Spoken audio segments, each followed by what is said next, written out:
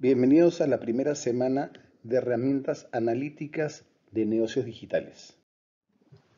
Durante esta semana se tocarán dos temas. El primero, eh, el análisis de audiencias, eh, la importancia de, digamos, de conocer bien la audiencia en el mundo digital para eh, poder magnificarla, este, dimensionar ciertos comportamientos y tendencias que permitan conocer bien ese público objetivo.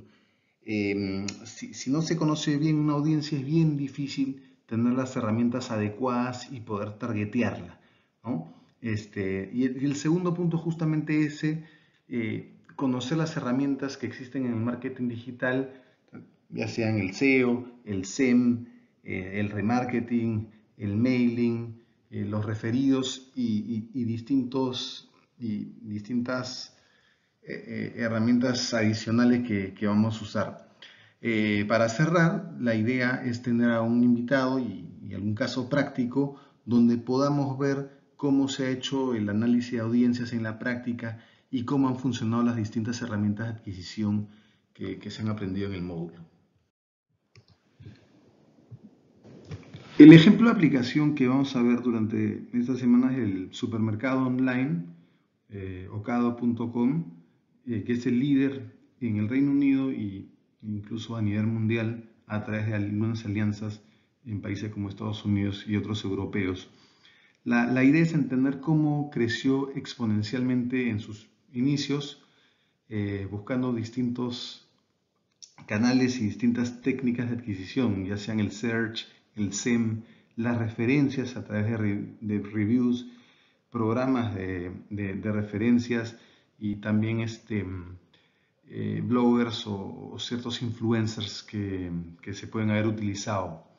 Eh, el caso de, de, Ocado va a ser, es interesante porque una de las conclusiones este, a las cuales eh, llegó la compañía después de cierto tiempo es que el boca a boca era una de las formas más potentes de crecimiento. Y eso, digamos, trae ciertas conclusiones eh, sobre cuáles son las técnicas de adquisición más adecuadas a seguir. Un error común que, cometemos muchas veces al, digamos, este, realizar publicidad digital, marketing digital, es no conocer bien a la audiencia. Y eso trae ciertos problemas en la estrategia de, de adquisición y retención. La idea es este, describir qué problemas puede traer este, tener mal dimensionada o diagnosticada la, audiencia de, un producto o un servicio digital.